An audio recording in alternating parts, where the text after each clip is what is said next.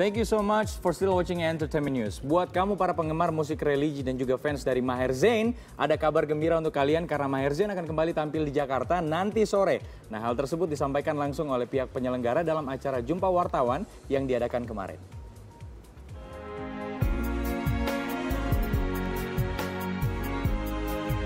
Kabar gembira bagi Anda pencinta Maher Zain.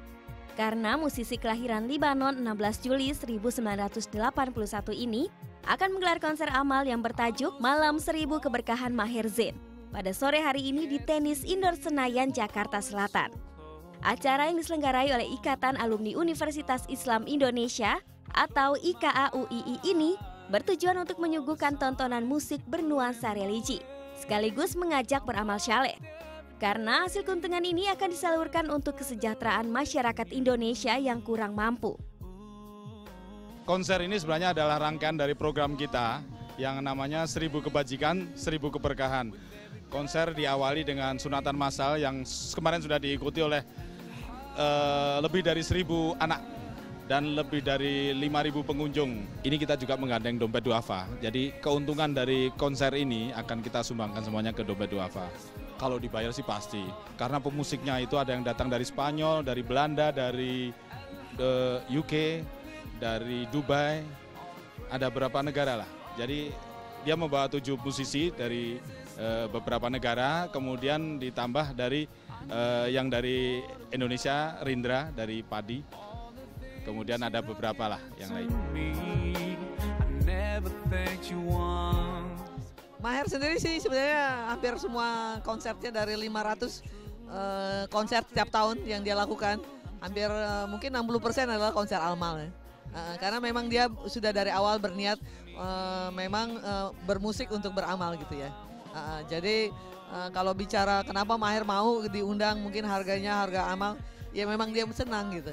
Fadli itu kita pertemukan dari awal. Kemudian Maher uh, sempat uh, diskusi sama dia dan cocok sekali gitu. Mereka berdua itu saya nggak tahu deh mungkin memang sudah ditakdirkan cocok gitu. Dan kali ini tim Entertainment News mendapatkan kesempatan eksklusif untuk menginterview langsung penyanyi pelantun lagu Insya Allah ini.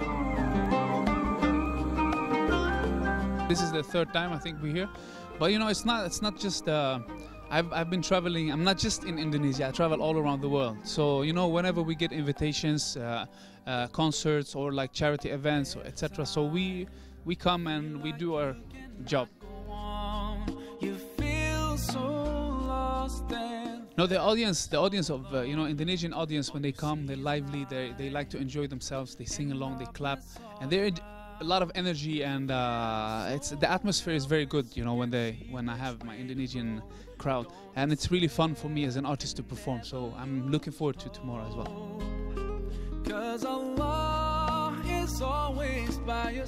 No, Fadli, Fadli is a great guy. You know, I, I, I got to know him a couple of years ago, and he's, uh, I meet him, and we performed a couple of times together. We made a song, made a Sinatron together, and he's a really, I got to know him very well. He's a great guy, great personality. He's a talented musician, great voice. So he's a beautiful person.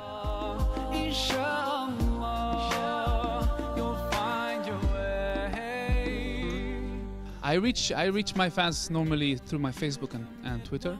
And uh, you know when we come to and when we travel to, we have concerts, we have meet and greet sessions, try to engage and meet them and take you know some, you know have some uh, talk and pictures and stuff like that. So, but normally it's through Facebook. I give out messages, I contact with them, they contact with me, Twitter.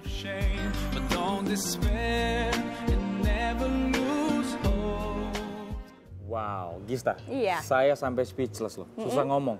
Kenapa? Kalau memuji seorang Maher Zain, luar biasa jiwa sosialnya ya. Gini oh, loh. Oh iya benar. Maher Zain ya. kan kita tahu asalnya dari Libanon. Mm -hmm. Libanon juga bisa dikatakan negara yang masih Kurang... belum terlalu makmur. Okay. Tapi dia membela-belain untuk datang ke Indonesia untuk mengadakan konser amal. Tentunya untuk membantu mereka yang membutuhkan di Indonesia. Ini kan luar biasa. Bener banget. Padahal dia bener kata kamu ya Deva. Dia itu orang Libanon dan dia bela-belain ke Indonesia untuk hmm. menggelar konser amal ini. Betul. Dan ini mungkin, mungkin Maher Zain Ma. sangat mencintai Indonesia.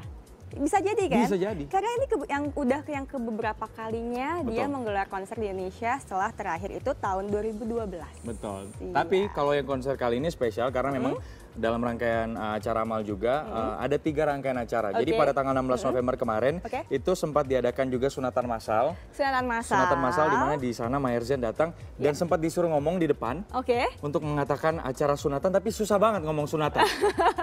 Padahal dia ini kan jago semua bahasa kan, tapi sunatan ternyata susah. Kemudian Emang mungkin nggak gampang kali ya Betul, kalau rangkaian acaranya Indonesia. kemudian dia juga sempat ke Yogyakarta kemarin untuk berbicara dalam sebuah simposium ringan di Universitas Islam Indonesia. Oke. Dan yang terakhir akhirnya menggelar konser sore hari ini. Buat kamu yang ngefans banget ya, dan juga suka banget sama yang namanya musik-musik religi dari Maher Zain, nanti sore. Harus ya, atau kita berdua juga mau nonton nanti sore. Boleh. Bisa jadi sekalian liputan. Oke.